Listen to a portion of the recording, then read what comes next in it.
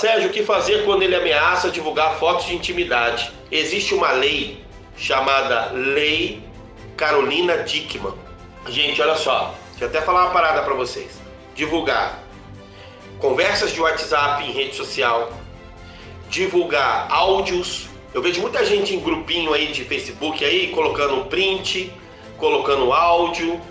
Isso é, isso é crime. Não pode divulgar fotos íntimas, não pode divulgar conversas, não pode divulgar áudios. Isso é íntimo, isso é algo íntimo, tá? Se ele está te ameaçando, você vai até a delegacia, você faz uma denúncia, faz um boletim de ocorrência, tá? Segundo a lei Carolina Dickman, você busca advogado aqui no nosso instituto, gente.